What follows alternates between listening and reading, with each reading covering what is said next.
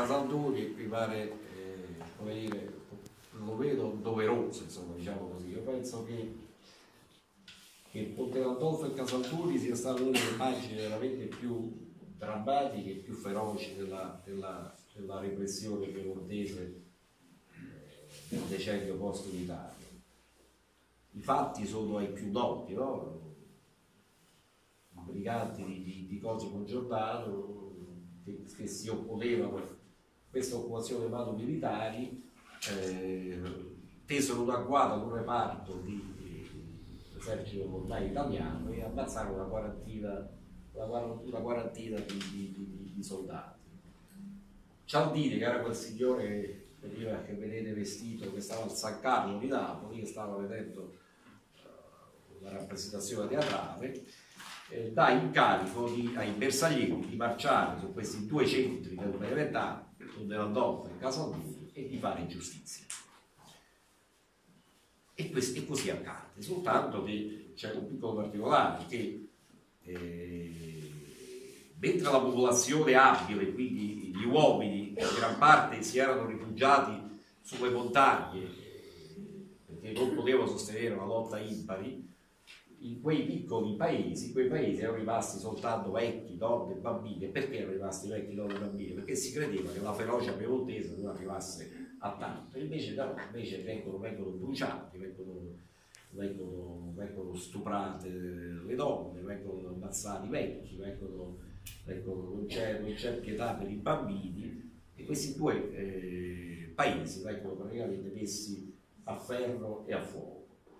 La cosa drammatica è che eh, nell'archivio di Stato di Benevento c'è un, ancora oggi conservato un, un telegramma che eh, il, colonnello Pier Leonor Negri, che è quello che si rende responsabile della, della strage di Ponte Landolfo, telegrafa da Fra Pietro Monforte, non so se ce l'ha. Il 15 agosto Pier Leonor Negri, ieri mattina all'alba giustizia fu fatta contro Ponte Landolfo e Casaldoni.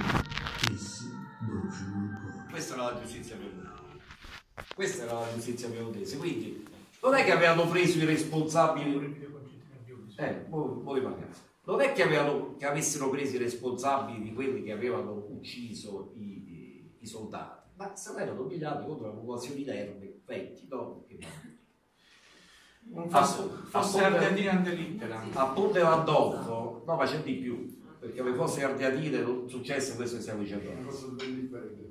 E no, poi ante litteram. Sì, però non facciamo, non facciamo paragoni tra epoche storiche differenti, che non è mai una cosa tanto, tanto, tanto comprensibile. A Ponte Landolfo, penso che voi, gran parte di voi siete, siete stati a Ponte Landolfo, no? Nei pressi di quella torre, la torre circolare, un centinaio di metri sulla, sulla sinistra, sulla destra, c'è una piazzetta che si chiama Piazza Eleonora Biondi, eh, scusate, Piazza Concetta Biondi, non so se ci siete mai stati. Piazza dove stanno delle finestre con dei gerani, molto bella, molto, molto caratteristica. Sapete chi era Concettina Biondi? Era una ragazza di 12 anni che è stata stuprata ripetutamente da una quarantina di bersaglieri fino a che, mentre i genitori venivano trattenuti, i bersaglieri si divertivano a stuprare questa ragazzina di 12 anni. Questa è la giustizia piemontese. Fino a che è rimasta esanime al suolo. L'amministrazione comunale giustamente ha dedicato a questa martire una piazzetta e questa piazza non c'è più. Però il problema non finisce qui, perché è la mistificazione che non va al di là del, dell'atto esecrando.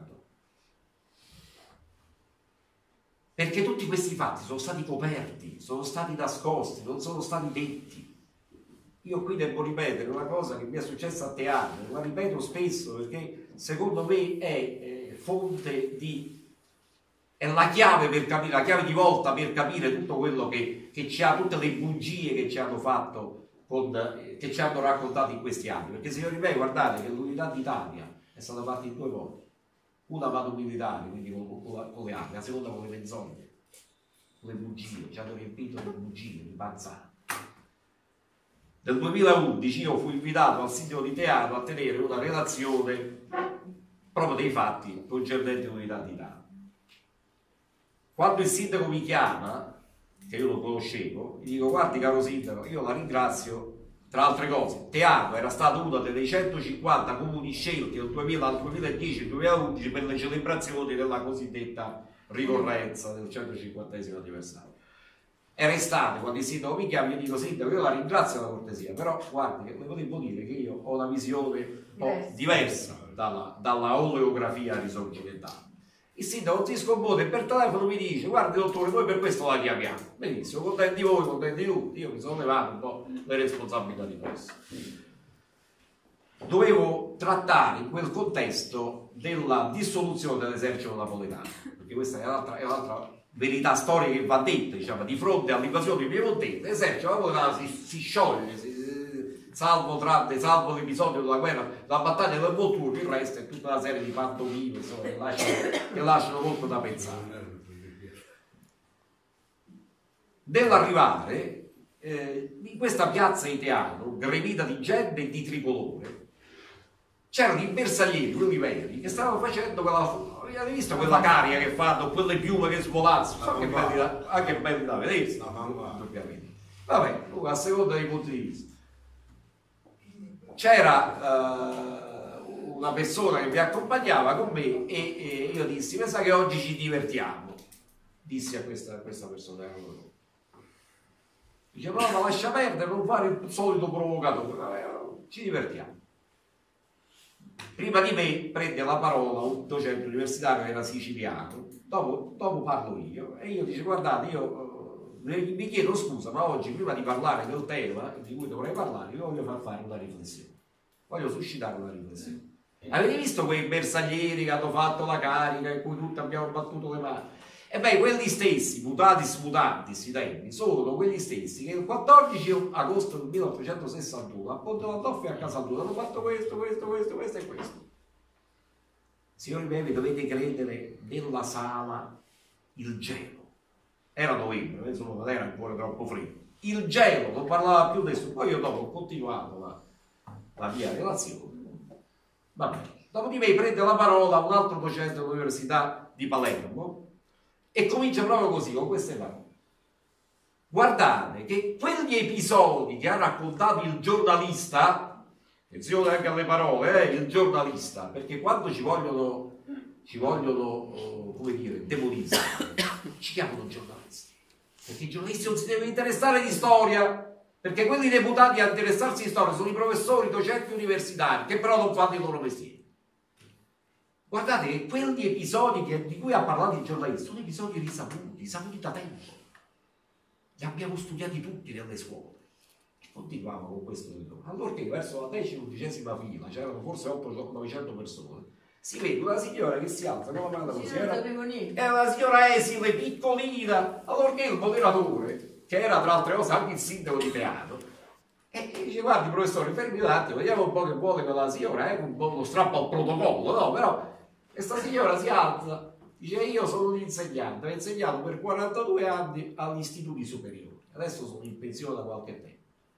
Guardi professore, che io quelle cose di cui parlava il giornalista non l'ho mai sentito. E non ho potuto neanche, neanche dirle ai miei, ai miei, ai miei alunni si è levata dalla sala un applauso di quelli stratosferici che secondo me se il professore si metteva sotto al tavolino forse non avrebbe fatto in verità. Che cosa voglio dire questo? Che non le conosciamo.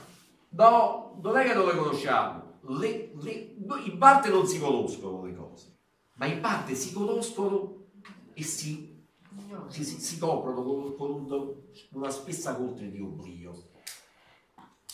E perché questo? Perché l'oleografia risorgimentale non può contemplare queste pagine così dei re. Gratuite, tra l'altro. C'è un diario di Carlo Margolfo, che io è di Delebio, credo in provincia di Vicenza, credo. che è stato uno di quei bersaglieri che ha partecipato ai giri in Ponte Landolfo. E lui lo dice con la sua schiettezza, guardate che là, mentre i cadaveri bruciavano, noi mangiavamo perché erano tre giorni che, che marciavamo e avevamo una fame, non ce ne fregava un cavolo di quello che succedeva là dentro.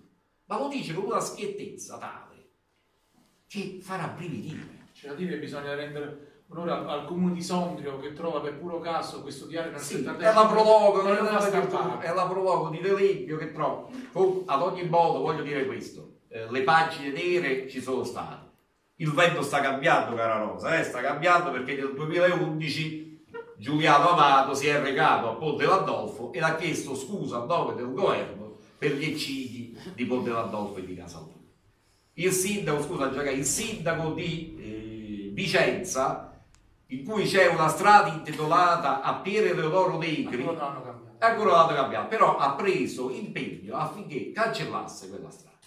Cosa, caro Giancarlo? Io so quello che tu vuoi dire, però Allora, vedi- che se uno sarà stato felice Concettina Biondi Eh, so. di mia madre che viene a portare le scuse e i genitori di Concettina Biondi che hanno visto studiare Benissimo. dai stranieri saranno stati felicissimi Sono- modo, diciamo, sono d'accordissimo, sì, aspetta, sono d'accordo con te, però voglio dire solo questo, che 20 anni fa non era possibile una cosa del genere, eh, quindi il vento sta cambiando.